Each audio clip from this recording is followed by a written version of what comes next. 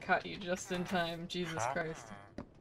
Actually, you know what?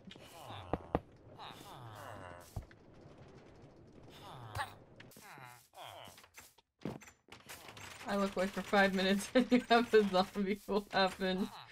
Um, he he needed to see bargaining chip. Alright, let me come off Deafen. He had to see bargaining chip.